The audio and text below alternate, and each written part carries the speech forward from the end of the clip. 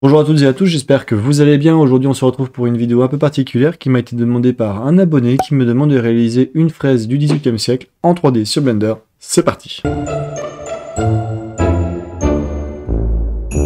Donc on se retrouve sur Blender, comme vous pouvez voir, j'ai déjà importé mon chibi, je vais en avoir besoin pour avoir la largeur de la fraise au niveau du cou. Donc je vais me mettre en vue dessus, pas de 7, Shift A, Image, Référence. Donc je vais chercher mon image de référence. Je vais faire un petit GX pour la déplacer et je vais un peu le scale. Je vais désactiver le selectable pour ne plus pouvoir le déplacer. Donc si jamais vous devez cocher cette case là pour avoir le selectable disponible. Je vais faire un petit shift A, je vais chercher une curve et je vais chercher un path. GX pour le déplacer. Tab pour passer en edit mode. Je vais sélectionner les deux vertices qui sont, qui sont ici et je vais faire un petit GY.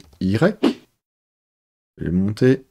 Voilà, donc on voit bien que j'ai ma courbe qui est en train de se faire. Ici, un petit SX pour ramener tout ça au centre.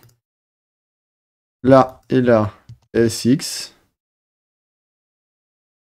OK. Et ici, E, Y pour faire une extrude. Un petit SX pour le scale.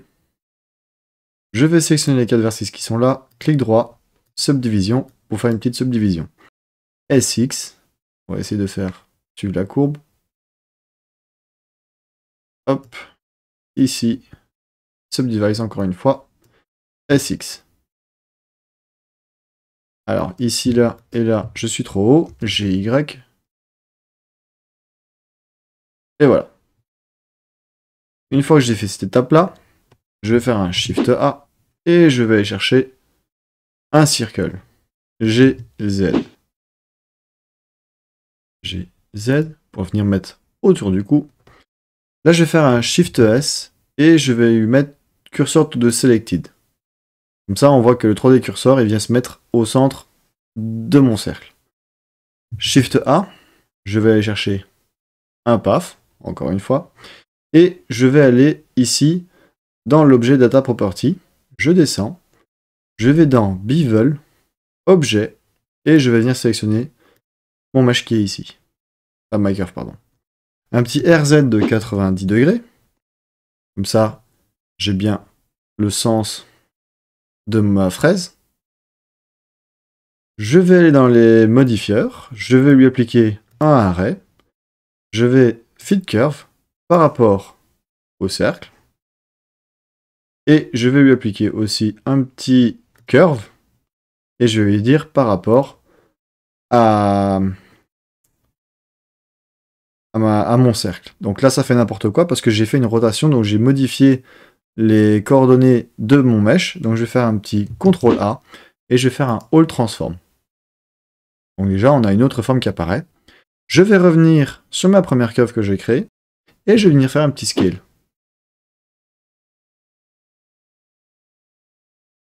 Et là, on voit qu'on a enfin notre fraise qui apparaît.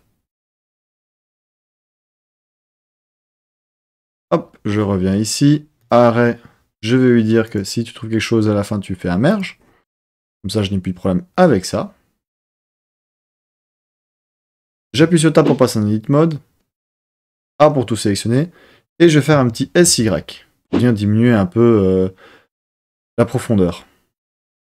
Tab pour repasser en Edit Mode. En Objet Mode, pardon. On voit que ça rétrécit. Je vais encore faire un SY. La fraise est encore trop grande. SY.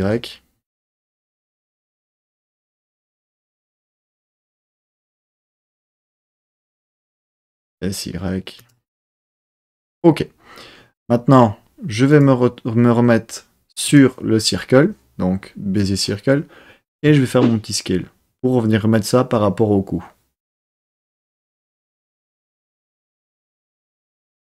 Ok.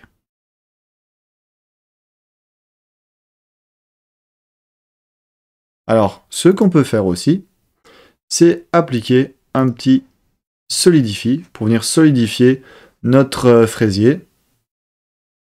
Et ça me convient très bien comme ça.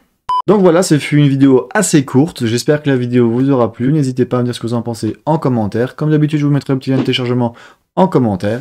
Et je vous dis à la prochaine. Ciao.